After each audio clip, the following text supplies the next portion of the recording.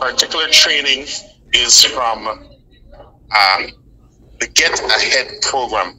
Right, this is the Gender and Entrepreneurship Together program that was made um, by people not in this hemisphere, if you want to put it that way. We have uh, this manual that we are doing, this train, the train up training that we've been we've been um, badly accepted in that we're delivering across the country.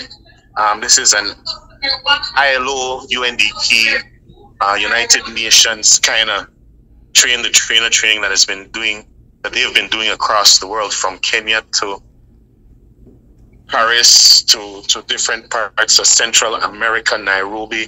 Um, um, they've even been to Sudan, and now they're here in Belize, giving us this opportunity to do our training. Right.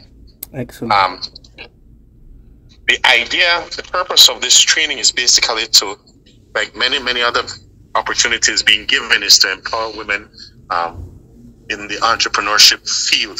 Uh, the design of this activity is to reach the entrepreneurs or female wanting to be entrepreneurs in, in indigenous and, and in a sense lower financial scale. We're covering business and its environment, the different constructs of business development, for example, business plan, marketing plans, uh, all at an introductory level.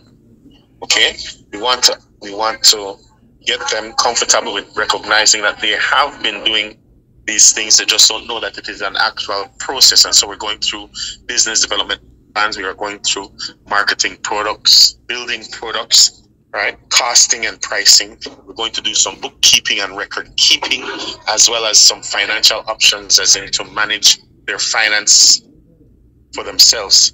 Right? We have a ton of other things in there. For example, I think a major one of them is identifying the risks involved in uh, building a business and how it affects their